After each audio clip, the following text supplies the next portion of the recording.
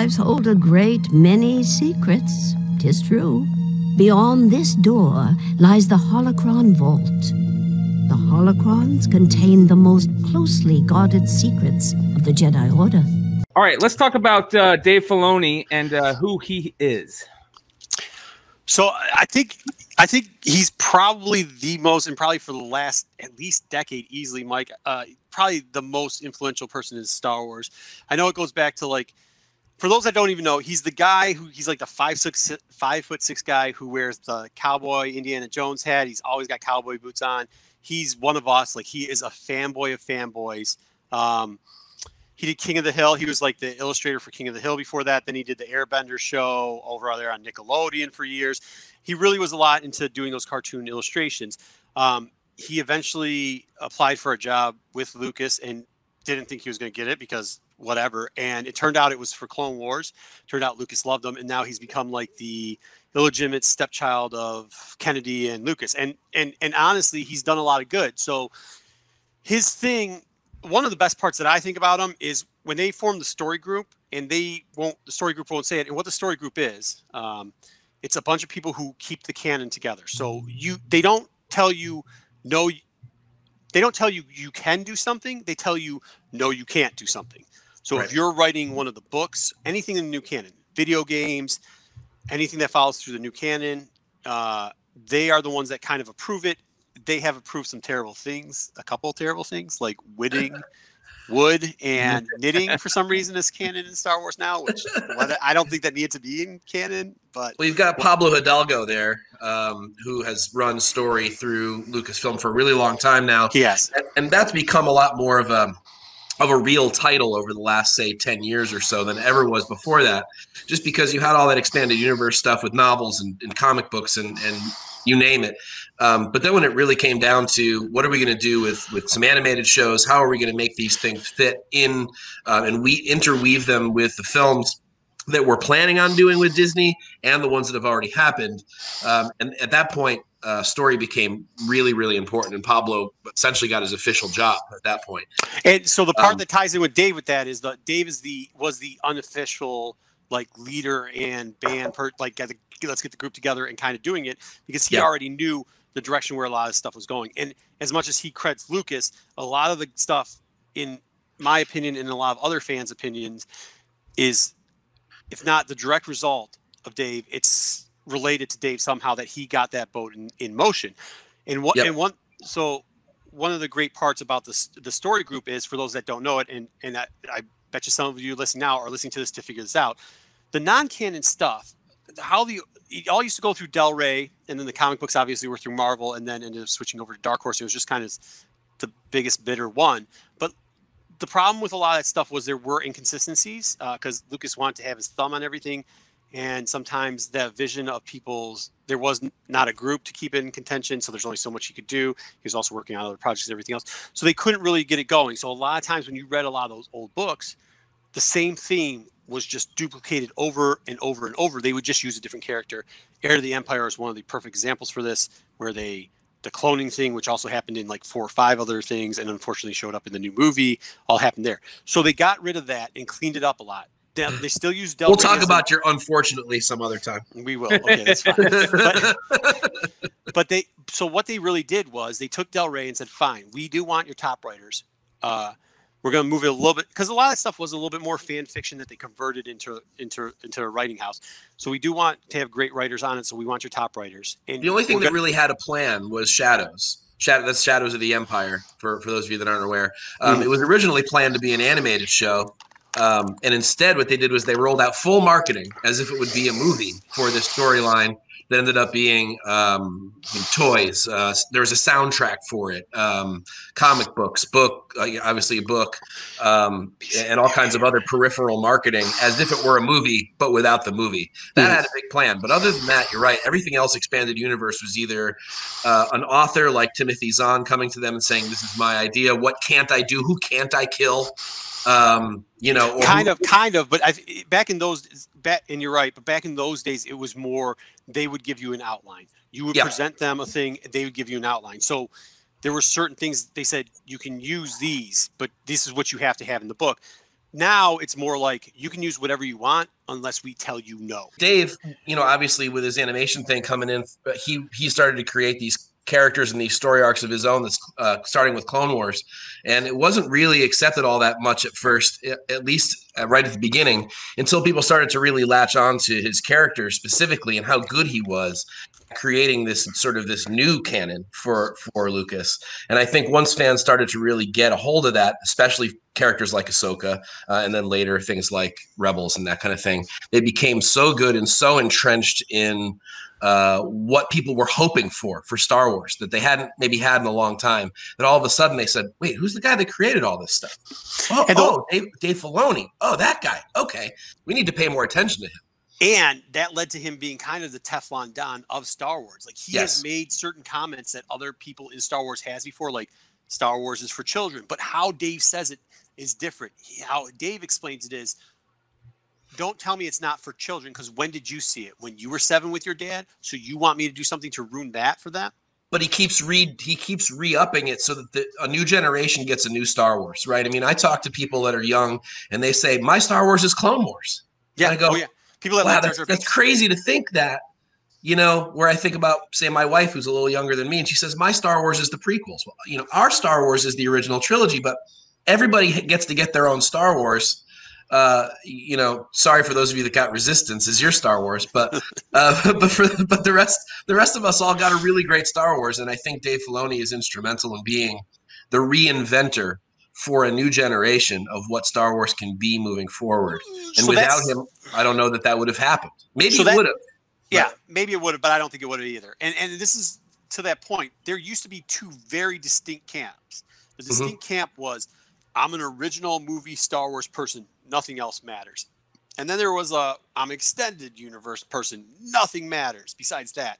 And now it's kind of like you hear this a lot whenever you go to an event, whenever you do anything. And I think Dave has a large part in this is Star Wars is for everybody, but not all of Star Wars is for you. And I think, you know, yeah. there's always going to be some loud naysayers about there. There's always going to be some, you know, basement boys or whatever that are sitting there always grumpity, grumpity, yelling for meatloaf. But like the most of the part when you go to when you go a lot of these Star Wars things, even if we disagree on stuff, like at least it's semi-respectful. Like, and at least people will bring good points. It just won't be like it sucks. Like, yeah, the internet probably does a lot. Yeah. I yeah, but not, but not at something like Celebration. And I think that's a good segue into Dave's creations, his characters. And I'm gonna just talk about my last experience at Celebration, actually two celebrations ago, when I first saw Ashley Eckstein's Her Universe table. Oh, geez. And yeah. I could. This is when I finally realized just what a new generation of Star Wars fans was. Mm-hmm. When I saw a line of girls wrapped around Ashley Eckstein's table. A- Ashley Eckstein is the voice actress for Ahsoka Tano, for those that don't know. The, the line wrapped around her table just to meet her, not to buy clothes, not to get autographs, not to do anything, just literally to say hello and shake her hand. And how many girls were dressed up as Ahsoka in that line was absolutely mind blowing to me. When I saw that, I came right home. I told all my nerd friends, I'm like, you got to stock up on everything Ahsoka right now. You have no idea what this character is about to be. And everyone told me I was crazy. They're like, that character's annoying. They call her Snips for a reason. I'm yeah. like, you don't understand, man. This is something new. And sure enough, now now look at Ahsoka now. So um, so as somebody who's gonna get hate, because I actually thought the Ahsoka character, even as Snips, was a better character than the Anakin character. Um, me too. Uh, yeah, but the, when you talk about her and her line, the craziest part, and you'll know this, and people can go look at look at how expensive her stuff is. Now, you've been to her shows before, you've seen her at shows before, Mike, and say that I'm lying. Her stuff sells, and it sells out. It sells to dudes. It sells out. Girl oh, stuff. Dude, yeah, dudes, dudes wearing girl stuff in like we, extra extra large. Yes, yeah. So I was t- I, so I told this story before, and I'll tell it again. Last celebration, two times they had two cool Ahsoka things. My wife was like, "Dude, I want one of these two." Tano. Yeah, the Tano shirt, which. Yep. And she, they were buying everything, and uh, my wife's medium. They didn't even have mediums in it. They had they had super X small, maybe. I don't even think they had that left on that. And that was day two because day yep. one we went into the regular shop to buy the the there was generic and one of these shows I'll show you what one of the shirts is. And if you if you're watching galleries, you'll see it too. It's the Mandalorian shirt that Dave has on. Yep. I have that shirt that was a cool shirt. That thing sold out first day. The other shirt that sold out, she couldn't get, and she was very upset. In, but luckily, they re-rolled it out, so she has it now. Is there was a purple shirt that says Ahsoka Tano on it, and it, they sold it from extra small to double XL. By the second day, I saw I'm not a small dude, all right, but I saw dudes twice my size. The, the Jammed sleeves in. are up here, the belly rolls coming out, jammed into those shirts, man. And I was like, look, I always thought she was good. I thought everything was great. I have obviously stocked up on that character because I believe in that character. I believe in Dave characters, uh, and he's not the only one. But that, be, oh my gosh, that was crazy. That was you. I you would not think. And Mike, maybe I'm wrong, but like No, 20 not at years ago, when the first, when the when the prequels came out, and there was the big war in Star Wars between, you know, uh, what's really Star Wars? Is the prequel really Star Wars, or is it really the original three trilogies? And then after that, when they did the canon, non-canon break, well, is canon really Star Wars, or is Lucas, which we'll talk about how much Lucas had involved in all that, or is only the stuff Lucas did by himself really Star Wars? And then you see a character where you know that that character was just six to eight years ago thought of as a like you said, annoying little girl named Snips, and now Yep. you're seeing dudes Yeah. who always aren't the most, you know, sure type Shape- guys. That, Shapely. well, not just that, but they're usually the guys that are like kind of like it's my childhood. I want to relive my childhood. I don't want anything else. And these dudes are are pushing themselves into very small shirts. And like there was there was more guys there, and there was plenty of women. Don't get me wrong. There was more guys there wearing that shirt, and there was more women giving a crooked eye, like "I hate you for taking that shirt." Right? Yeah, because I So- wanted one. Yeah, yeah. because I wanted one. To So, me, like- to me, it was seeing all the little girls, um, and, and I think that that's a huge thing that's been missing in Star Wars for a long time. And, and obviously, Lucasfilm, whomever it is, whether it's Dave or Kathleen Kennedy or whomever, uh, is a big focus on the girl characters right now, and they are crushing it. They they are. Ahsoka I is at the top of the list, but I think you got Aphra, you got Rhett, you got Sabine Wren, you've got I mean, you've got the whole list going down, and to see that new generation be that excited, it's the same kind of excitement that we had when we were kids. That that's amazing to me, and I love that that exists, and I think we owe it to Dave. Um, and I think that we're going to see a lot of these characters now become really integral parts of the live action world for Star Wars, the animated world moving forward, product lines. You are never not going to see an Ahsoka product out. You're just Yeah. not going to anymore. She's like Luke. You're never going to not see a Luke on a shelf. You're never going to not see an Ahsoka on a shelf. Not anymore. Those I days are she- done. I think she's more Han Solo because she's a lot cooler. Oh, you know what is, I so, mean. Like, yeah. You know what I mean, though. Yeah. So this is this is a good point that you just brought up, and this is kind of going back to Dave. So let's look at what Dave did, right? So Dave did Clone Wars. We know Ahsoka came out of Clone Wars. Rebels comes out. Okay. Mhm. Next up, Rebels comes out. Who do we have in Rebels?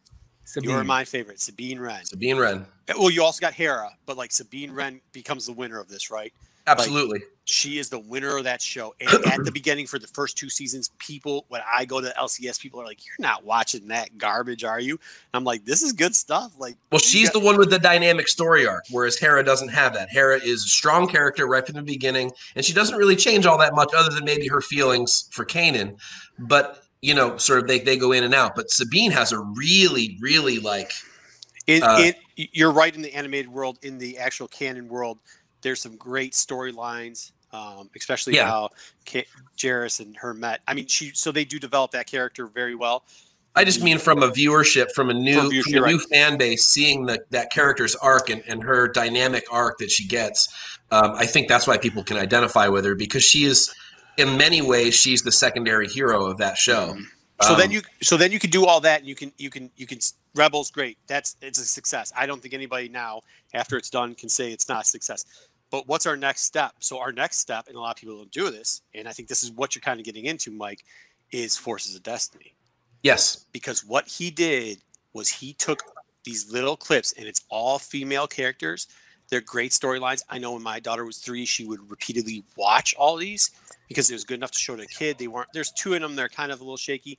Yeah yeah so it came out with a line too and we'll talk about the toy line later but he came out with all these little clips of forces of destiny and they were perfectly edible and they were for even younger viewers. So now, i mean probably my kids at three were too young to watch them but now you're talking about grabbing it five year olds so now we got Dave doing this web series that ends up becoming something you could find on TV or everything else. And what they start doing are these little mini series where it's all focused on strong female characters. And the the credit to Dave is he doesn't pawn them off as either being too aggressive or or needing help or something like that. He actually legitimately just makes them like, hey, they're just like any other character, like a Han Solo or a Luke, where that Han, I mean Han Solo, in my opinion, was one of the best uh, character developments. Right? It was just. It just was. He was like he. It was cool. It, he just was. You didn't have to do too much explaining. You expected the next thing to come out of his line mouth to be something that was cool. That was kind Yeah, of Western. None of us wanted to be Luke. We all wanted to be Han. Nobody No, wanted Han to be Luke. by far. Han Solo and Leia were the two best characters. Well, I um, wanted to be Lando. I wanted to be Lando because I thought he was the cooler. I thought he was the cooler Han, but you know, it's same idea. I, I, I, I will debate. Like I like Lando, but Han by far is best. But that's what I'm saying. So now, so now he took like even characters that were coming out in movies and people were kind of like downplaying their power or downplaying whatever they were downplaying about it and saying whatever it was. He ended up taking these characters and really giving them strong, little. I think what are the clips like? Three minutes long, Mike? Four minutes long? They're yeah, I think that's minutes. yeah three and three and change. They were, uh, I think they were shorter when they were on YouTube, and then when they got released onto whatever the next either disc or on right onto Disney Plus, they they a- added a few pieces of material back in, and they got a little longer. Um, I can't remember, but there were two different there were two different edits of each one. I think. Yeah. So so what they did was they ended up putting it on the web, and then after the web, they ended up transitioning it to uh, on demand for Disney Junior or Disney XD? Now? Disney Disney Junior. XD. That's it. Disney XD. So they did on Disney XD, Yep. whatever the younger Yep. one is. So seven and Yep. unders, Dis- yes. So Disney XD. So they ended up doing it on demand for Disney XD. They promoted the show during Rebels so that you could like all their promos were on Rebels, and um, then you, I think there was two seasons or whatever. But it would give a small ten minute backstory, almost like from a certain point of view, the book, and that's kind of how they did it. And and that led into a certain point of like th- that's what the crazy stuff is. Like Dave does something like that, it becomes a success, and then leads to other people doing projects similar to his. And you're seeing that with the Mandalorian now. So then after that, he does what is arguably, in my opinion, uh, probably his worst work. He does Resistance. yeah. Let's talk about resistance because here's somebody that doesn't know much about resistance. Uh, I, I wasn't uh, obviously um, watching it at the time, so uh, let's let's talk a little bit about resistance and not get too into it. What is resistance? So Resistance is a show that I think was what I think what Dave was attempting to do. This is my guess. He was attempting to make it even younger. I think he saw the success with Forces of Destiny, and rather than rather than take sort of like the seven, eight, nine, ten year old, where he was kind of targeting um, Clone Wars and Rebels before that, he, I think he tried to kind of knock it down to a slightly younger level. He added in a really ridiculous character um, named Neeku, who's uh, a green Klaatu, who's really a tough character to watch, um, and storylines that were uh, they're they're they're vague. Um, you, then he tried to throw in a little fan service by putting Poe in there um, and BB-8, BB-8. And, and a little bit of like Leia stuff and, and that kind of thing. And it was it just didn't it just didn't jive. It it it it just sort of felt like work. It was so tough to watch. yeah. So the just like that was the first one where I was like, oh, I get what people say about the beginning of his shows not being that good and the end being good, and the end was not good, but it was passable. It Okay. was. It was at least at least got watchable. It was Yeah, it almost got- unwatchable television at Oh, first. it, it was struggle time. It was really struggle at the beginning. It was. to try to he try he tried to introduce too many new characters, Yeah. which is tough to say considering Clone War. But like he was using Poe, which at best is a second to third rate character. Yep. BB-8, which is never is you know I mean he's probably like the sixth most popular droid, if that maybe even actually depends if you consider Grievous a droid at this point or not. But like you know what I mean? Like he, he he was using all these things, and they were either popping in and popping out. And the story arc was leading up to like the First Order, kind of like Inception, but but there'd already been stories out in canon about how the First Order was getting started and stuff like Right. that. So it was kind of just thrown together a little poorly. I do like. Um, I did like the Yeager character. I thought he was fairly well rounded. Um, he was about the only saving grace in the show. The voice actor did a good job. There was nothing annoying about him. He he had sort of a uh, regality to him. Yeager. I thought Yeager was actually a good character. I thought that he was well rounded. I thought he had a, a regality to him that made him feel like what we would expect from a Filoni character. Whereas the other characters felt rushed. They didn't have real. They were silly um, and annoying, to be honest. and some were stereotypical. Like it was Yeah. really punch hole on a lot of them. I do think uh, towards the end, the one that I'm not gonna get into the whole thing, but there's a traitor from the group that gets in fourth. I thought that was actually kind of good towards the end, and somebody's daughter started to develop too and and was pretty good. All in said, maybe it's not for us. You know what I mean? Like we're not Yeah. going to know the payoff for that uh, till pro- I would think probably at least a decade uh, because it is so. I do think it's like the seven, seven this you know the six through eight year old demographic, and, and and the animation is not my style. It is more Airbender or more, you know. Um, I do know people, I do know adults too, that thought that the animation was good, um, and and I could see why one might like that style. I think the best animation is still Clone Wars, in my opinion. Um, although I do like the sort of McQuarrie-ish direction that Rebels took. Um, but I think that I, I think that the animation, it didn't matter how good the animation was, the rest of it was so weak. You know, first of all, put it this way: it lasted only two seasons. That's never a good thing. Um, and then you have you have things like Clone Wars and Rebels that did resonate with older audiences, even though they weren't meant for older audiences. Clearly, there was something missing in this show. Now, Okay. that doesn't mean you know he's going to have a misstep. He's the, the, the guy is not God. He's not perfect. He's going to Yes. have a misstep, and he probably got he may have gotten told, "Hey, this needs to be for a lower a lower age bracket. What can you do?" And he or might you just just try something new. yeah, or yeah, and it just didn't go. It just didn't go well. So let's go back to Clone you Wars. swing and you miss. Yeah, so let's go back to Clone Wars because Yeah. I will agree with Rebels and everything else, but let's not forget where Clone Wars was. That first off, the movie that they did for they the, the first movie that had that terrible animation that they did for Clone Wars, and you guys can all go look back look that up. We're, we're not going to go over that. Then they The samurai, the samurai Jack stuff. You mean? the Samurai Jack stuff, yes. Yeah. Then they had so we're looking at Cartoon Network, right? Because that's where they're putting this all out. You have the actual movie, which has three poses: arm crossed, pointing finger, arms on hips. Wasn't that the three moves that they had? And the whole thing, Yeah, the animation right. was Yep. terrible. Yep, it was bad. You can say Star Wars is for kids, and this is where I'll kind of debate it. You're that t- era, you were not.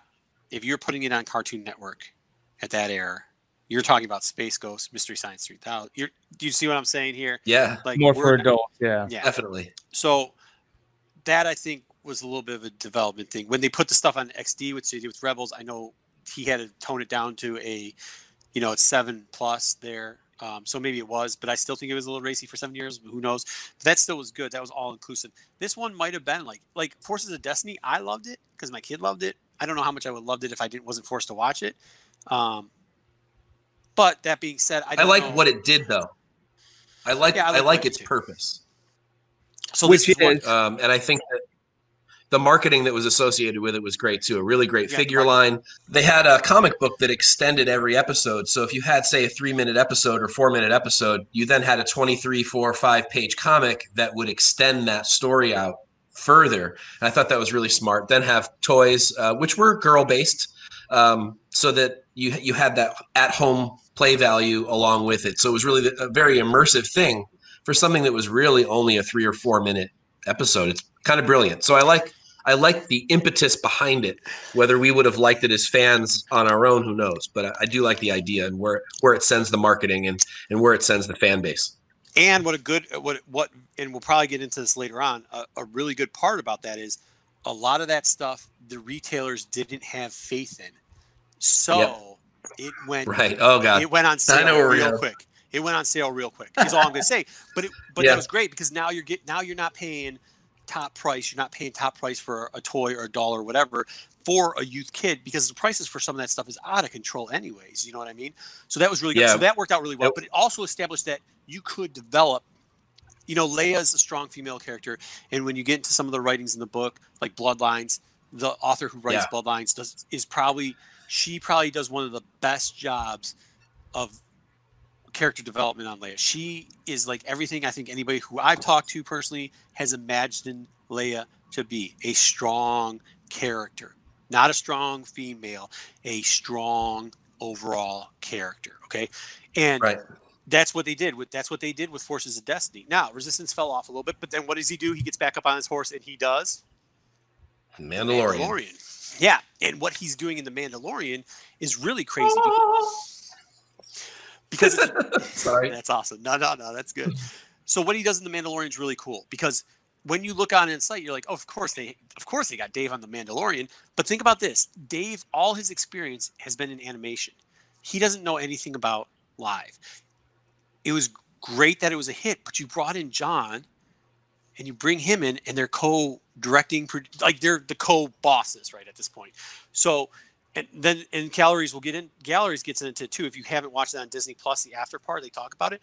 But what the running theory is is this: that Jon's there to teach Dave how to do live action because Dave is going to take over all content for telev- television. You know what I mean? Which isn't really television. Well, he's a, and he's a storyboarder. I mean, he's yeah. you know like if that that animation experience comes in handy on any show, especially when you're talking about a budget that is essentially television. Now, look, I know Disney Plus budget is not Fox budget, and a million to five million dollars an episode is is, but it's still not a movie. So you've got to figure out a way to cut budget somewhere along the line, and you need a guy who's really good at telling story quickly, and that's something that Dave is very good at. So if you've got a guy who understands story, he's a fan like all of us, so he knows what we want because he wants it. Um, he's you know, not unlike J.J. Abrams, which Sorry, right. We'll get into J.J. We'll get into J.J. some other time. Um, but yeah, he's in charge of the writing group. Um, but he's a fan, like like many of the other guys are. And I think that um, th- those things combined, his ability to storyboard, his ability to tell story well and quickly on a budget, as well as being head of story. I mean, I think he was he's the there's no other option. I mean, he's got to be the guy. And um, I think we all can agree that he's come through. To a yeah. finer point, though, I think what they're doing there, and I really do, is if you ever like Dave, one of the big stories is he would like tag along Lucas just like incessantly, like just tag along, just tag along, talk to him all the time, tag along, tag along time, so he could get the feeling of how he did stuff. Because there were certain things that he didn't even know on how to do Star Wars stuff, even with the storyboarding, even though he already had experience. So he already tackled that. And now you see him doing with Jon, and you're like, well, why would he be tagging that along? Well, because you're now going to put him just like you did with the with the uh, story group or the canon group you're going to put him in charge of all television. That doesn't mean just animation. That doesn't mean live. Like this demo where they had different directors and different writers come through, he's going to be now the person that explains to them the vision of it's no longer Lucas's vision. It is now Dave's vision. And it's going to come down to that. He's going to get there. And when they graduate, you're going to see him go up. And then Jon's going to take him over into the movie part. And then Jon's going to oversee all that stuff. And if you watch galleries, which is the thing on Disney Plus, I suggest you do, there's points in there where you can see even stuff that Dave clicks. Like everybody's like, Dave's a genius. Dave knew all this stuff. Dave knew all this stuff. And you hear Jon talk about certain things, and the things that Jon talks about is is not animation stuff because he'll get back and say like, oh, I didn't even know how to do some of this stuff till Dave like straightened it out for me. I was having trouble with it, but he'll start talking about certain elements of like fight scenes or how to deal with directors or how to do this, and you see it click. Just like Dave, for some reason, Lucas must have never said like spaghetti western in his life, even though we all know that some of the basis of that. he must have been Kurosawa and like, oh, hey, we're all watching Jumbo and we're all watching, you know, the Seven Samurais. Mm-hmm. Cool, because he knew that.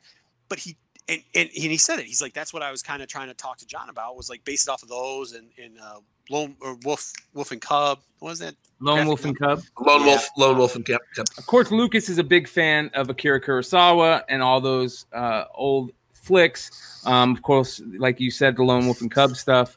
Um, I think that it would be smart for anybody who's taking on the Star Wars stuff to look at that. Do a deep dive to it, and we might yeah. we might go into that a little bit in a different video. We might go into some of those and the, the, similarities between that. But you, but when you're doing that, you have to also see the link to um, Star Wars. And it's funny because the one thing Dave said was like, then I realized Han Solo was dressed like a gunslinger. Like, oh yeah, yeah, yeah, he definitely was. He definitely was. And the other thing, the model too that you want to make sure that you that we go along with too, especially if we talk about it some other time, is is Campbell's hero's journey too. Yeah. And you know, Lucas was always very vocal about using that model to tell his story because he knew it was successful. I mean, that was the whole reason for writing the book in the first place was Campbell saying, "Okay, what is the thing that makes all these great pieces of literature great pieces of literature? Yeah. It is a very specific formula. And Lucas was like, well, why wouldn't I use that?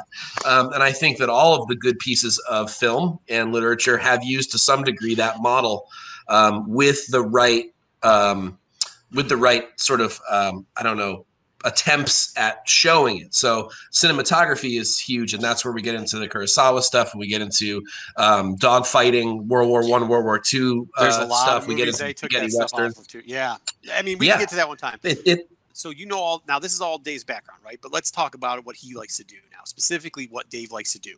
And this is why it's important because if Dave starts taking over live action, he just like Lucas gets into a rut of certain things. And the one thing that he loves more than anything else is characters and, and certain characters and usually off characters and usually characters you see in a background of a movie or a one-off character or just or just mentioned mentioned off thing. Like we all know Ahsoka and we're gonna get into Ahsoka in a little bit. But Sabine's another one. Like we can get into the three majors. So let's do that. Let's do that first. Let's get into Ahsoka, Mike. You uh, you love Ahsoka. I love Ahsoka, but you love her more. So let's get let's get into Ahsoka. Get let's let's get a rundown of Ahsoka, how she started out, and you know, kind of like even maybe a little glimpse. We'll deep dive into it way later about where we see the, the upcoming stuff going on. But let's get into like just a little history of Ahsoka from Snips who was her blah blah blah. Yep. Go through there. Do we know sure. where Filoni uh, had the idea come from? Like, what was he basing Ahsoka around? Do we have that information? Uh, we have a we have yes we have and we also have an early we have early sketches and they come actually in the Blu-ray uh, the the Blu-ray pack. There's an early sketch showing what Ahsoka is supposed to look like. She's essentially supposed to be a young uh, to is it Togruta? Is that yeah. the name of the the race? Uh, yeah. Young Togruta, like Shaak Ti. Um, yeah. So it was to take a Shaak Ti like character um, who resonated really well. It was a great design, um, very regal looking design. Um, make a kid version out of that and give Anakin his Padawan. Um, and then in the movie, the essentially the the it's really just the first three episodes mashed together and put into a put into cinema.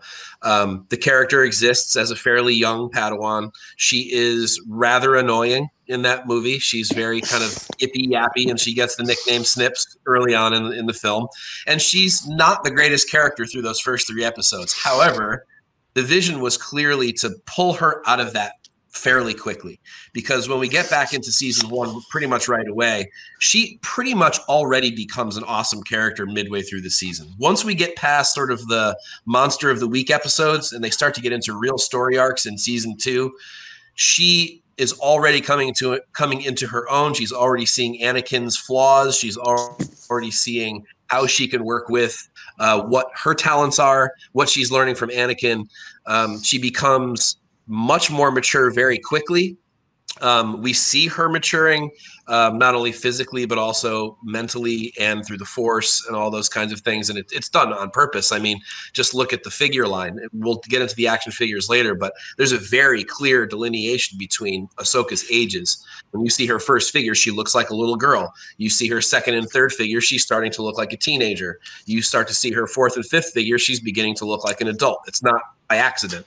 Um, and no. that coming of age story is timeless uh, from Catcher in the Rye all the way through, you know, all the way through Star Wars. That whole Ahsoka becomes the That's the Luke storyline. Everything. All Star Wars journeys start with a teacher. And it's great yep. to see Ahsoka's teacher being Anakin, who also went through this journey. So uh, it's not. So this is where I think you're wrong. I think it was they were trying to do that as like a little teenager thing because we got to remember everybody thinks it's Anakin who was it, but if you remember the movie, Plo Koon was actually the person who found her, brought her in, and was her mentor for a couple years. To sort of sort of finish that off, I think what's great about Ahsoka, and I think all the way from her being annoying, like we all kind of are when we're young, all the way to her adult sort of very um, intelligent, um, careful sort of thing. I think that she is our first female everyman in Star Wars. We had Han before, or maybe Luke, or whomever you want to point to, but now we get the girl version. And I think that her design from start to finish was, I think it was perfect, at least from an animation standpoint. And I think now we'll see what she can do live action. Yeah, so I agree. Like, I think that it was very calculated, her being super annoying like a super annoying kid is because she was a kid yeah. at that point. I mean, and that was great. I think that was all planned out. But Brian, one thing I want to hit back is when you say who was really her master or teacher in the in the beginning, it was Plo Koon, and and the, the story behind that is, and this is where the Dave part comes in. That's Dave's all-time favorite character, and and a lot of people are gonna be like, "Who are you talking about?" And literally, it's a guy who was on the Jedi Council and like didn't have a lot. You might have known maybe got a little slayed by a young Palpatine. Like that's the type of character, and he loved them. And and then he does the whole storyline where he has them fighting underwater um, with uh, what's their names? The the it's a trap. The Mon Cal. The Mon Cal. I mean, he starts do, building into Yeah. that, and you could see that, and maybe later on when we get into it, where there's a gapping area of storylines of Ahsoka that still hasn't been tapped. But Ahsoka's storyline doesn't just Ahsoka's storyline is so good that it doesn't just end with Clone Wars or with Rebels, and we'll get into Rebels in a little bit. But they came out with a novel. Was it 16 or 17? Whenever it was, it was pretty early on on the redone of canon. And I think a lot of us, and Mike, I might be wrong on this, but I thought they were going to do like, I thought the last four episodes would probably be at one point in in uh, the last Clone Wars that came up, the the Disney Plus stuff, the last season. I thought they would have done Son of Dathomir.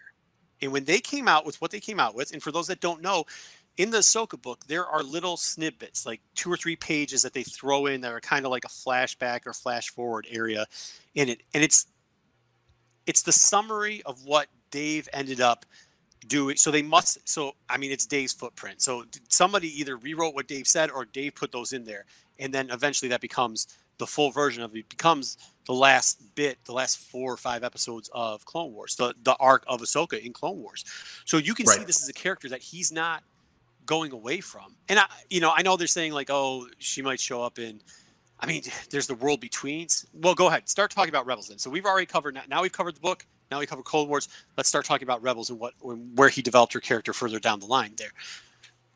Yeah. So so then essentially he he he he has Ahsoka go through this catharsis where she uh, has to leave the Jedi Order in order to to to leave what she doesn't believe in anymore.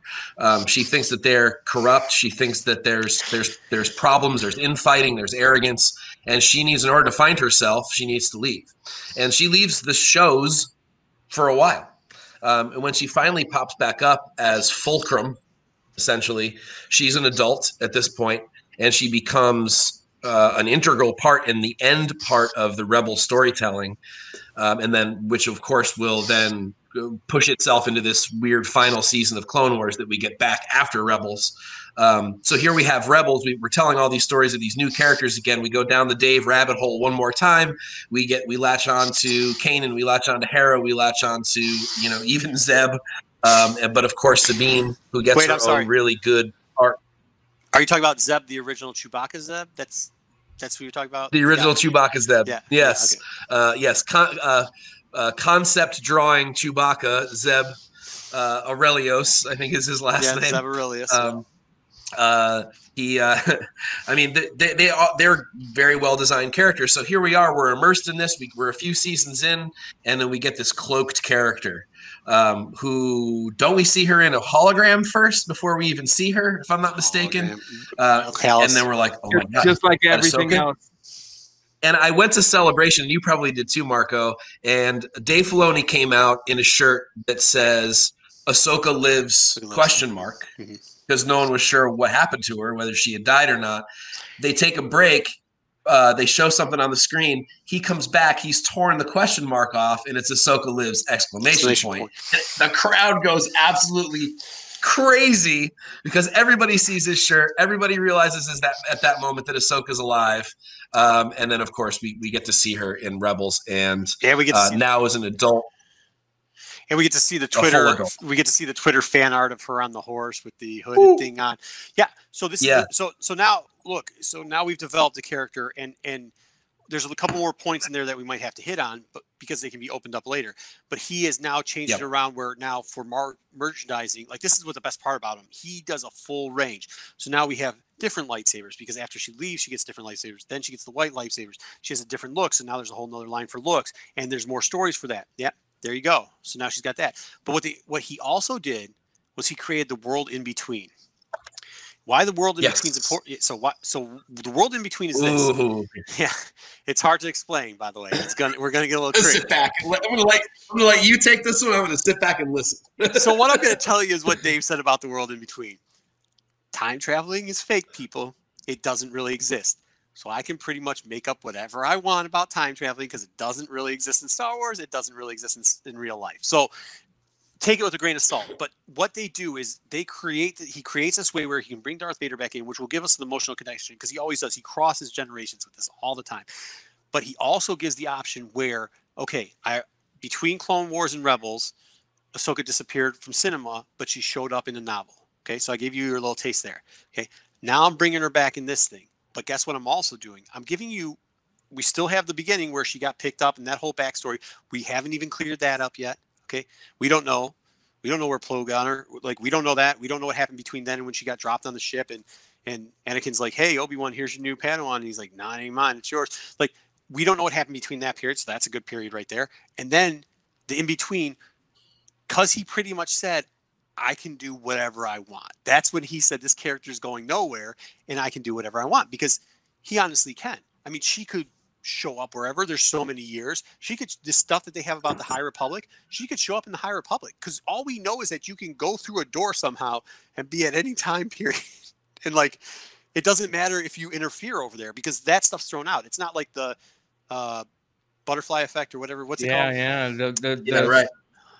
Yeah, the there's back none to of the that. future, the back to the future concept of The time space travel. time continuum. Yeah, it- Yeah. none of that. He said flat out, those don't. None of that's real. None of that is real.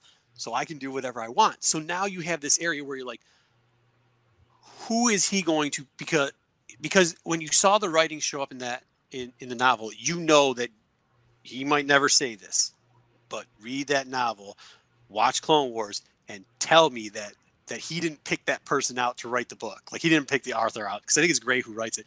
Whoever it is, tell me that he didn't pick her out to write that book because he did. Because those little inserts are directly into his storyline. So imagine this: he's in charge of live action. All right, everybody. I mean, Rose, she's been trying to play. Uh, she's been trying to play him for years. It was always recommended that she would. The age is the in between, which she would fit perfectly into. There could be a show coming up with her being the live action. I need to go on public record as saying that I'm pissed off for Ashley Eckstein. And look, I know Ashley was very, very, uh, she was very gracious about the news, and I think she handled it like a, like a true gentlewoman. However, the character is Ashley. If my son, who's watched Clone Wars, walks up to Rosario Dawson, and she talks to him, he's gonna go, "Oh, hi." If she, if he walks up to Ashley Eckstein and she says, "Oh, hi," like a he's gonna flip out because she is she's Ahsoka is my son is hot Soka. I mean, you can't you can't do any you can't do any wrong. Ahsoka is the character. It's like his girlfriend. She is she has made the character her voice, the way she's worked that character, and the way that she has marketed herself as Ahsoka has done had- a lot. Has done I a lot to make the character popular. I agree to a point, and here's what I will say about this. Rosario Dawson is a trained actor, actress. True. She's a trained live action actress. And that's about the only reason I could see uh, them deciding to even th- not e- even think about Ashley and Rosario and, and put, you know, who should be. But that being said, I can understand I'm just why being a fanboy. I was about to say I can understand why fanboys get angry because Ashley is a big part of that character. So a this huge is part of that character. this is the only so issue I have with it. This is the only issue I have with it. And and you know, I'm not sure if she is showing up in the next episode because of when the timing was for everything. I know they're that they're probably planning on something eventually with her. So we don't know for sure if Dawson is going to be it or not. I, I would say it's a good casting because yes, you're right, she's an actor stuff. The one thing that's really dirty is when that rumor came out less than a week before that, sh- Eckley did a interview and she had said, "This is it. There will be no more Ahsoka." You know, they told me we're not doing any. Pretty much inferred that the character from this point on wouldn't be presented. They weren't going to do more animation on her, and it was going to be done. And then if they do, I don't think we can debate what's going to happen with Mandalorian. I absolutely think they're going to do a live action and I think they're going to do a young version, and I think they probably are going to do an older version, like I just said, because of the in between. They got to do it.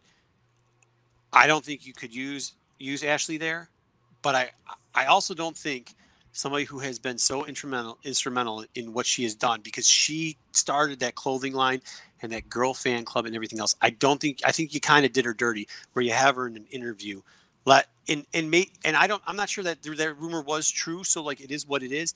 But even at that, don't tell her the door's closed on the character, right? Like she went on an interview and said, like, yeah, man, I wish they would do more, but the door's closed. I was told the door's closed on the character, pretty much is what she said. Especially right after you've just done the opposite when you told her you were going to do the final season of Clone Wars. You got her all excited. The character was coming back. You were going to voice her. Then you were going to do the voice for her in the, in the Rise of Skywalker film as well. So to give her that, and then to just be like, okay, now we're done. That's the end. You've, you've closed, you've wrapped up the character. Oh, but wait, we're going to put her in the Mandalorian. We're going to give her her own show, uh, and we're going to give her to somebody else. If they if they do, I mean, if they put her in, if they put her in the Mandalorian, and that would be a good way to open up the in between. I'm not just like the whole reporting of that news, and we can talk another episode about how like in development and that stuff works, but like that that was pretty much in the can. They're already in post edit at the at the point because they're already starting on re- writing three when that yep. rumor broke. And yeah, the, so we're probably right. not going to see any Ahsoka, um, uh, if anything, till the maybe last episode. Yeah, if you have Ahsoka yeah, stuff that you're, if you have Ahsoka stuff that you're storing up to sell, I don't think now's the time to sell. I think no, you, I, I, think when they, I think when they start to reveal the in between, what they're going to do with that, when they do the buddy cop movie that they're going to do between Sabine and her, like, hey, how you doing? Like, speaking of Sabine, this is why we know Sabine's going to be a good character. Because when you go to con and you see cosplay, like that's yeah, cosplay's it. Like I know people always say cosplayers have no money in their pocket, so they don't spend any money. You're wrong. They spend money. They're just not spending money with you on the right stuff. Yeah, because right. You, yeah, yeah, because you either don't have the right stuff, or they already own that type of stuff so you're way behind it and when you see so when you start seeing those people spending thousands of dollars professional cosplayers, professional podcasters, professional whatever, and there's some famous ones that had done her before, come out onto the floor of a con and you're seeing two, three, four of these characters. And I'm not talking like, hey, I threw this out together over the weekend. I'm talking like, yeah, they could have cast like you I've for that for part. years on this costume. They could have yeah, cast yeah, you yeah, for that exactly. part. That's when you right. know that that character is going to take off in the in the better stuff not always the more expensive, but the rare stuff you can find on one of those characters, I will suggest to you that is a good reason to get up and go to cons and support your local cons, even your small con shows. Go out there and see who's people, who people pretending they are cosplaying. Pretend I probably shouldn't say pretending, cosplaying, who they're cosplaying.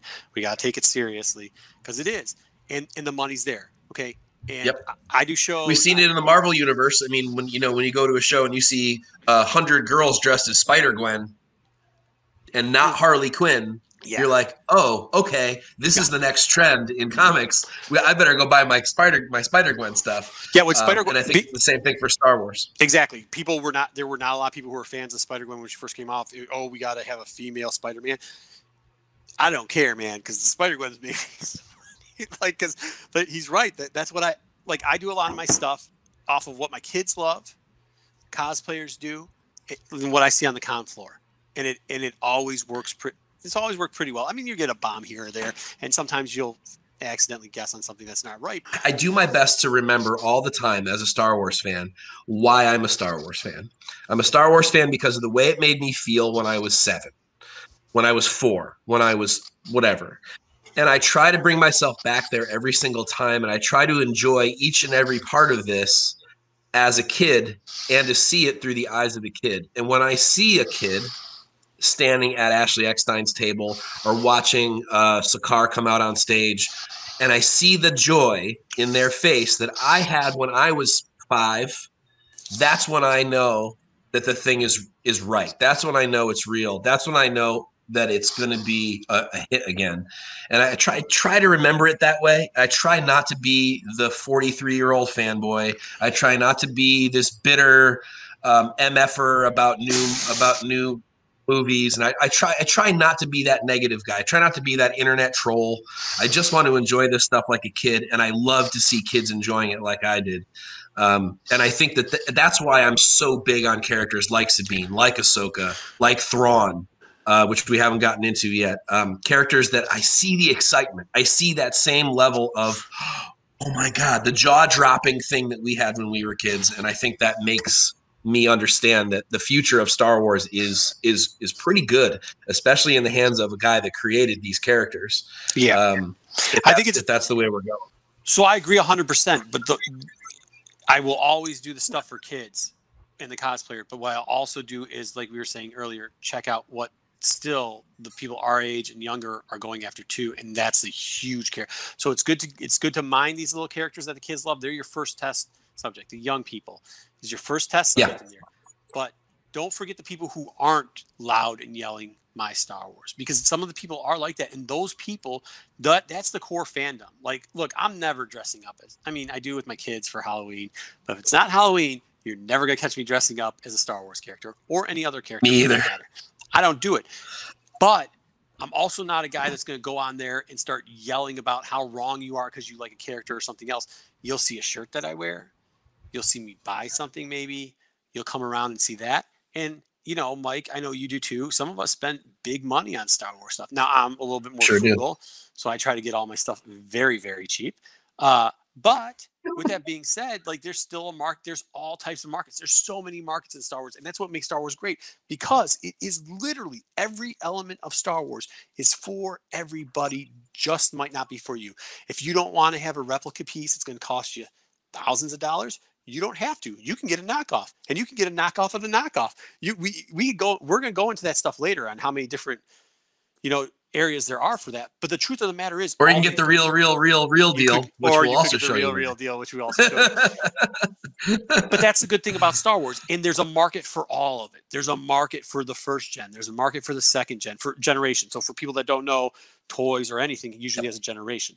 Okay. There's a market for all of it. Reprints is a lot of thing people know. So there's a market for all that stuff. It doesn't matter. It just depends on what the market is. when you think about, you know, people say, well, the real collectibles are the vintage stuff. Man, I want to, Darth Vader is going to cost me, you know, two, three, four, five hundred dollars carded. I'm like, okay, so you don't think there's anything that's modern that, that costs that? Well, this little baby, try getting your hands on one of these right now for less than three hundred dollars, and this figure is only five years old.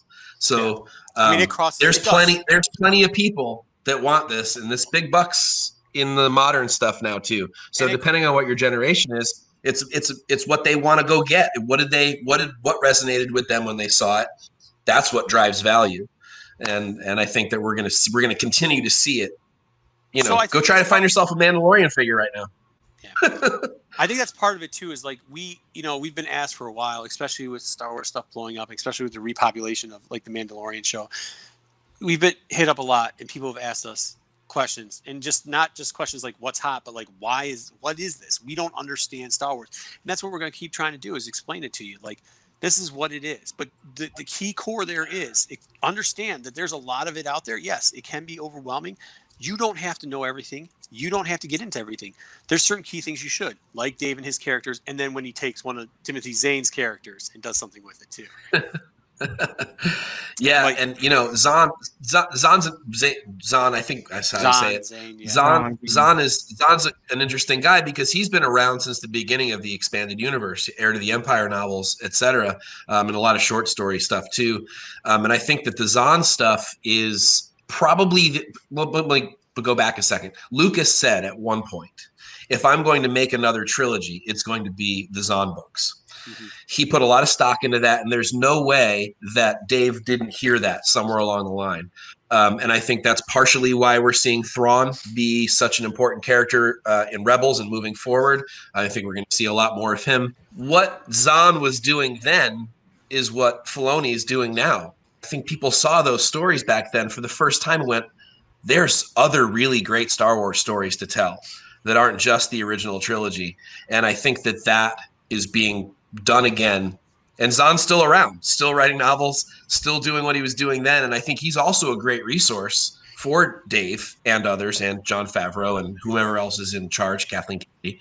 Um, and I think that mining him is important. I think his stuff, his character building was great too, especially with a character like Thrawn. So I And think I think we're too. going to see a lot more of him. I agree, and I think what you see is on, it's the difference between the Dave era and the George era, right? When you go back and you read Timothy's books, Heir to the Empire, uh, the trilogy, and then you read the New Thrawn trilogy, and in my opinion, the New Thrawn trilogy is, and I'm not taking anything away from Heir of the Empire where it was, but it looked like Timothy was handcuffed there, right? It really did. It- there was definitely a thing where George was getting in there, And then you see Dave's method where he kind of goes, "Hey, look, these are the things you can't do. You can't kill off certain characters. You can't do whatever. You have to keep it in a certain timeline, but not the because it is a different timeline, right? Like when we're we're gonna do we're talking we'll talk about Thrawn a little bit more, but it is a different timeline. It's not the same story. It really is not the same story at all. It's kind of like a prototype. It's like like when we a lot of us know comic books and stuff like that or toys. It's a prototype. Heir to the Empire has now become a prototype.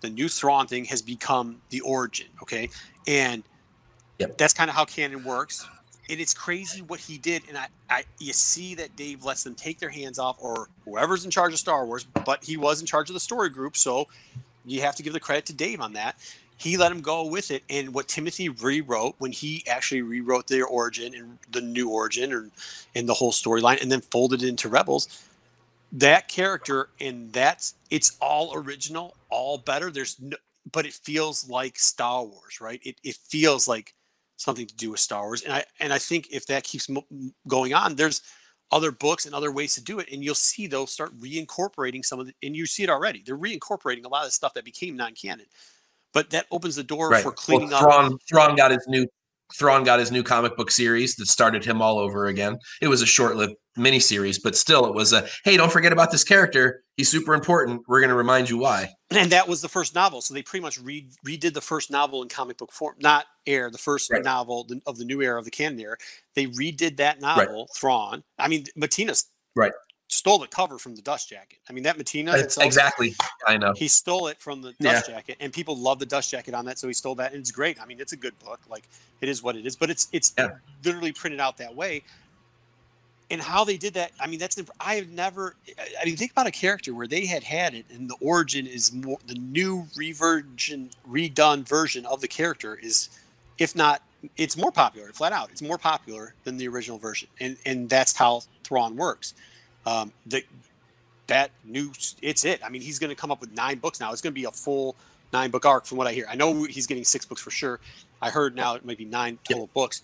And that that's crazy but at the same time there's a want for it. There really is a want for it. And that character is another character where people I- I- all the cons i went to i never saw people dressing in that white dress blue face you'd see one guy every once in a while uh, with the black hair do it. You see Yep. him now. Like you see him and that's not a easy costume to pull off really and and they're loving it. The pin that was at celebration. I mean, you know, the ones you the ones that went, Ahsoka, Thrawn, and uh Sabine. and Sabine. Those were the pins that were like Yep. they were gone. And they were on the resellers wall for tons. Were. Resellers were paying a premium to buy that and then reselling it for a premium. That's crazy, man. Yep. That what happened at celebration was And, crazy. uh, I was present at a conversation with Timothy Zahn and um, Pablo Hidalgo. Yeah. Um, and while I can't discuss what they were discussing, what I can say is I was very intrigued to see how excited Zahn was to continue conversations about Thrawn. Um, it was he looked like a little kid having a conversation, and it was really great. He loves the character. He's really excited to be able to continue it. I think we're going to see some really cool material come out from it, and uh, and I think it's going to get utilized. I think Dave would be dumb not to utilize that stuff in upcoming live action or upcoming animateds or whatever it happens to be. The character's good. He's a favorite. He, uh, like you said, he's been reinvented in a way that now the new generation of Star Wars fans know who he is. He's not, and he, no longer is he a, a 1990s novel character. He is now a current canonized Disney Plus character. And for everybody that doesn't know the Heir to the Empire story, the Heir to the Empire story was so handcuffed that it had a lot of elements of a bunch of other stories that were being done at the time. There was kind Yep. of a Star Wars floor, and they were both done. So they're both done through Del Rey. It's still the writing house. It was the writing house then when Timothy was doing it over there too. Timothy did, over there, but it was very handcuffed, and there was a lot of regurgitated stuff that occurred. The cloning things, the the, Yep. the Luke Skywalker. It, it- plus, it took place at a different it, different period of time.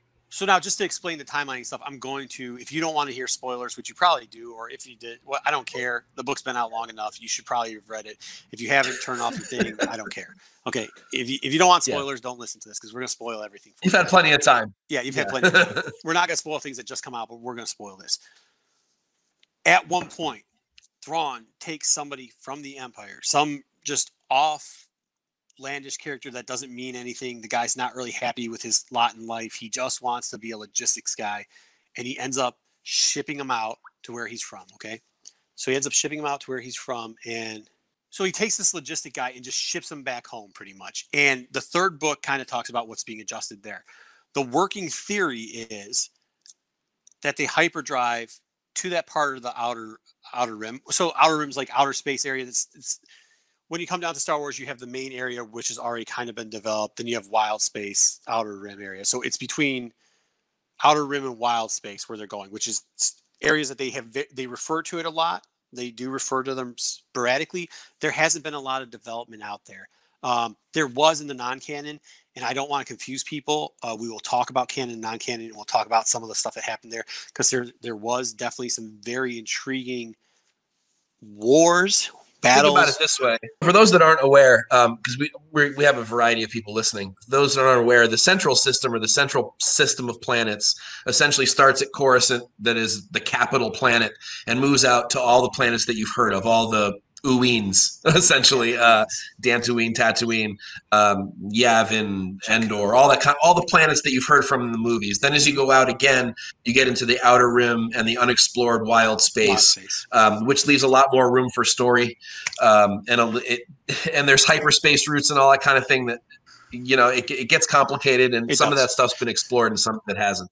So the key is a lot of the stuff that you see, and you're going to see in in both the animated series is there, but there is, they are they have already developed these two other Milky Way outer rim areas, and we know because of non-canon that they have gone there before. They're changing them up. We know that from the Thrawn books, from the Timothy books, but they're gonna hit them up, and it's gonna be in the future. And we think that's where we think they're gonna do a live, if not another animated, but a live version of, you know, Thrawn, Ezra, and introduce them to this character yeah. that we know that's out there in the Empire right now, and actually is in one of the Thrawn comic books because that's where they, you know, that's the novelization. So his first would be in one of those, um, and he's going to run there and already have something set up for it. That's what our opinion, and it is what it is, is, and it's going to be great because then now you have a whole new mining area that you could you can start developing. Um, yeah, and you don't have to worry about what was and what wasn't canon before because technically most of it's unexplored or it's so it's so briefly explored that you're not going to ruin anything that's in the canonized films or the big shows. You can pretty much start from scratch. Except for one big war that took place out there. But besides that well it took place yes, on the. Basics, but yes, yes, but besides that yes. Which i think they'll eventually right. yeah okay. So they have to um, at least mention that. they do. Yep when they have to well i think they have to bring it in because like that in the books see, I'm really trying not to spoil the books because I know I said spoilers. Count, I know. But like, I'm trying not to spoil. You're doing a good job though. Because in the books, they do bring up that race of aliens, and they do bring up that it's kind of a fighting area, and and that's whole, the whole point of them hyperspacing out there. And I'm trying not to ruin what we think they're going to do with Ezra, but it's going to be really cool. And if you read the books, you might get a really big clue, or listen to them on audio uh, it's gonna be cool. It's gonna be cool. And and with Dave in charge of that, the audiobooks are really good, by the way. Those are, are really well done. The audiobook for that series is is really. Yeah, that's cool. No, yeah, yeah. Just that. That's just no. a side note, but yeah, I mean, they are worth listening to. They did good. a good job on those. Good. One of the things that Thrawn's people would use to blast through hyperspace and why it's important is they use force people who have the force gift, and that's how they yep. were fighting it because they would be able to predict they would teach them, and especially younger ones, they'd be able to teach them how to jump through space to avoid things, and that's how they'd fight them. So that's cool. when you see an Ezra being jumped out there, you're like, oh wow, this is going to be because if he gets into those wars, that's a whole nother. That's that's that's a whole nother. See, what they're doing is they're slowly bringing all the stuff that pissed all the fans off when when Kathleen Kennedy said we're not doing that. None of that's canon anymore. They're slowly turning that around. Well, it was gar- well, it, it was yep. in in my opinion. Don't put this out there. It was bad. It was bad because yeah. it was handcuffed. It was garbage. Go back and read that. I mean, I read up. I mean, okay, Jabba's Palace was pretty funny. They turned that into. They kind of took that format and put it into from a certain point of view. And we're not going to give you the difference completely between canon stories and non-canon stories. We can do that later and everything else. But let's talk about what happened, right? So at one point, somebody, and I know Kennedy was the one who who vocalized it, was like, "We're getting rid of all the old stories." I know this has been a little bit decisive or divisive between people of the fandom, but when you look at what they've done now, if you go pound for pound, story against storyline, and character development against character development, there was a lot of hand. I guess the only word I could put is handcuffs. Like there was a lot of handcuffs on those early books that kind of didn't let them hold up. Like they they turned out pretty. I don't, Mike's. What's the right word for it? I mean, not. I'm not saying bad because I don't want to knock them because we've seen the same writers. But you're right. They had so they had these restrictions that allowed them to not really be unique um, stories that that that would stand the test of time, like a like a Shakespeare play might, or something like that, right? I mean, if that's that's a little bit lofty. Yeah, but even the original Yeah. three series, they weren't allowed to do stuff. Where I think the decision was made in order to say, look, we know that we've got some really good stuff in here to mine eventually, but if we throw it all away, then we at least can get rid of all the crap, and then we can pull back in the threads that we think are usable for later without disrupting any of what we've already done. So those things can exist. Fans can still enjoy them. There's nothing wrong with having them be out there they still but- sell them. understand that we may take those threads and move them in a new direction, like we did with Thrawn, for instance. Read those first 107 Marvel comics and tell oh me my that, god, and tell me that you and tell me that you want 108th issue because No. you don't. you don't. I mean, but there was some cool stuff. There's some cool stuff that didn't even fit in there, and we could get down there that that later. But th- there's also stuff we see now that they're they are. Thrawn's not the only one they're bringing back. I mean, there's guys that we have Right. already started to speculate on, maybe, or like guys that were like, "Oh, I'm so glad they're rewriting this character," um, because they're doing them better. They really are doing them better, and I think that's Dave's influence. Getting back to Dave, even though we're not supposed to, I think it's the Dave influence. Now, this is what I'm going to tell you, and it, it's going to be my opinion. Take it for what it's worth. The stuff that's coming out now is going to win the battle of what's going to be more valuable. The legacy stuff is all going to be prototype stuff because, and these these are the reasons why people already own that stuff, and there was so much of it they bought into it really cheap. The market for that stuff is not nearly as big as the stuff that's coming out right now. It really is. There's only a couple of. it. I have I have a caveat to that, Uh, okay. There, right. yes. Yes. Yes. Go ahead. and my caveat to that is that during the Dark Horse era of comic books, this is this is really the only place. Dark Horse readership for Dark Horse Star Wars started to die, um, and as that happened, the print runs got low. But but in order to try to bolster sales, they would do all these really weird uh, variants, usually convention variants or some oddity, and they were often extremely low print runs. One in 500, one of 500, one of a thousand Or less. um, the One Ahsoka for fifty. or less even. Some are 300, 100, yeah. 150. Right. So now those, if those are also keys, i.e., they contain the first appearance of a character, whether or not that character gets retconned or not, the that those books, those few books, and there's maybe only a handful of them, 12, 20 of them, something like that. The Ahsoka one of 1000, Dark Horse 100, Clone Wars number one issue is the famous one right now because it's like a $2,000 book. But that's not the only one that's like that. Wow. There's a, there's That's- there's the first Darth Bane. We'll talk about this more in depth some other day. But that's the one caveat I have to value. That's the only stuff I would say that you should go try Yeah. to track down now because those things are they're ghosts. They're already and they're just not going to pop up. and there is some there's certainly some Right. rare the sketch ages and stuff i mean there's certainly some rare stuff there but the truth of it was was it, it's always been about good storylines and that's kind of what we're seeing the transition now canon's giving us good storylines again okay not all dark horse was good storylines okay wasn't Nope. Amen. was wasn't. the one thing I think that we're going to see eventually is is the is other Sith pop up. knights of the old republic was a video game okay it was a video Yes. game that people fell in love with video. Yes, it's a great video game, and it's sometimes Xbox will sell it for the remastered version for like free. So when they do, check the free thing if you got Gold Live and you can get it there and play through it. It still kind of holds up, um, kind of like Super Mario Brothers holds up. The you know you're playing eight bit or whatever. But my point is this: that has become it was like the first cult following, legitimately cult following thing, right? It ended up getting tabletop games that were extremely low print and extremely popular that came out of it. It ended up starting like a Geo City where they did a just the fans ended up starting their own like storyline thing that uh, eventually got adapted and they ended up doing back storylines for a lot of this stuff. It came out with a second video game because it was so freaking popular. The characters Action showed up- figures. action figures yes It- everything came out of there but it was not mainstream like you had to be a star wars fan to know this stuff but Yep. it was selling. Like it sells and people have it and they hold on to it. What people they did a Dark Horse series off of it too, and the Dark Horse series was okay. The problem was it's like spread across arcs because they kind of gave up on it and then would bring bring it back and bring it back.